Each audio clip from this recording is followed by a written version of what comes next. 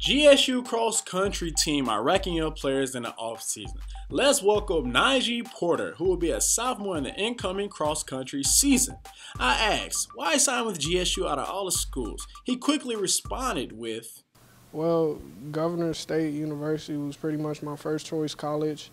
It was a small college. Um, I really enjoyed the scenery here as I'm running. Um, it's a very, it's a very beautiful campus and I feel as though I'm blessed to be here.